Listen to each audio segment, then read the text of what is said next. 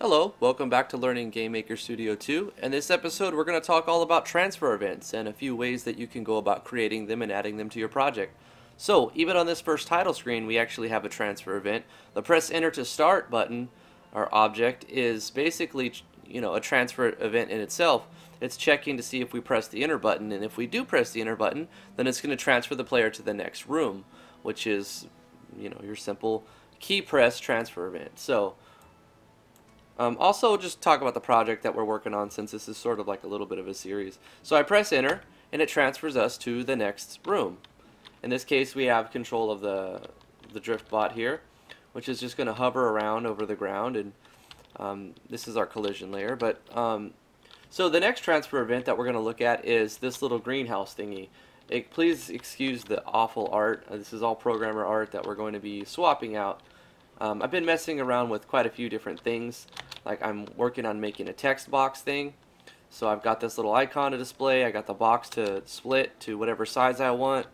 And um, this is actually a very, very small sprite. It's like a 12 pixel sprite, the, the box. But we're using um, a 9 slice method to give it whatever size we want. And then using like a shadowing um, text script to have the, the text be shadowed so you can have like a, uh, not only the text but a, a shadow of the text underneath it and, and then I'm using uh, drawing a sprite and then uh, manually fluctuating the, the frames on that sprite instead of an object because I'm setting it up in the GUI layer.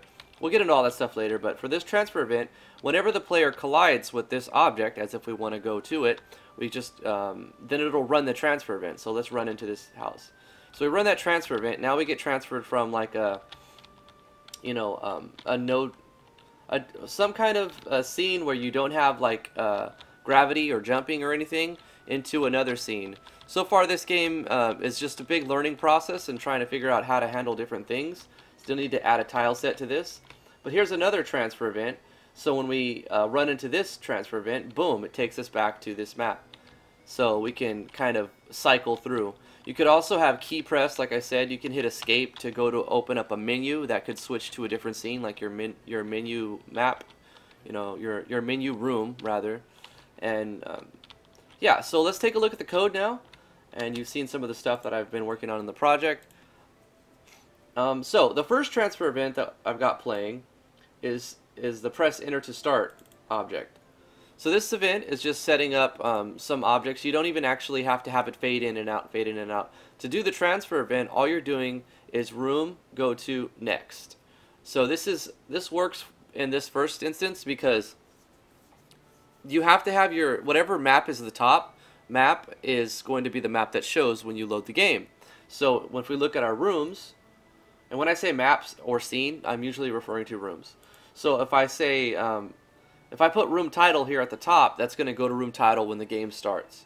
So I put this object on, um, on, uh, you know, the room title, this uh, this object inside there, and then when they press enter, it's checking on the step every every frame of the game. It's seeing if we pressed enter, then we're going to use the code room go to next. And what that does is it jumps from this uh, from this room to the next room. So it's going to go from the title to the world. Let's jump into the um, the object that uh, that transfers us from the world into like the platform area. So we'll go into this object. This is like the very crappy art greenhouse and so this is checking to see if the player is in the same location as this object. So we're saying if place meeting, it's a conditional, we're, we're checking if um, Rx and Ry is in the same location as the object player's X and Y, then um, room go to next. So we're doing the same code there. But now you're going to see where you can't use this code because if we go to the next one, we went from here to here, and then from world, to, it's going to go to the platform. But if we go to the platform, we don't want to go to next, right? We want to go back to the world. So we can't use room go to next. So let's look at this final transfer event. This is going to use some of the same code. It's going to use some of the same code as to figure out if it's colliding with the player. So we're saying if place meeting X, Y, O player. See, I've got two different players, one for um, two different scenes. One for the one that's got platforming, up and down jumping, and another for when you don't have jumping, you just have like a RPG style, um, like you know, 2D platform or not platform, but 2D. I don't know, plane. I guess is what it's called. Whatever. So you use place meeting the same way, but we're we're not using room go to next anymore. Now we're using room go to, and this is a specific way to um, to check if. Uh, uh, this is a, this is gonna say go to this particular room. I think it's pretty simple, right? You just use room underscore go to, and in, in the parentheses you're gonna put the the name of the map that you want to transfer to. So we don't want to go to next, which would take us to the, the tile jungle. We want to go to the room, room world, so it'll put us back there. So that's what you use, room underscore go to.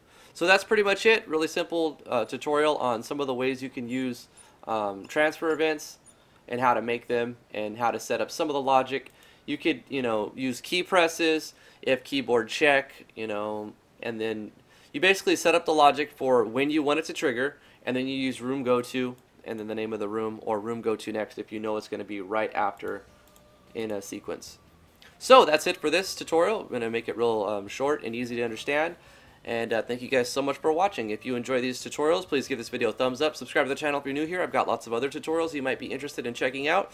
If you're into RPG Maker MV, I've got hundreds of tutorials. If you have a game um, that you're working on in Game Maker Studio 2 or RPG Maker MV, um, if you would like me to, to play test it and, uh, and give you some feedback on it, possibly make a video on it, um, hop into the Discord. The link's in the description below and uh, give me the download link. Make sure you play test it and uh, make sure you it runs and it extracts and everything before you upload it and then send me the link. But that's going to do it for this video. Thank you guys so much for watching.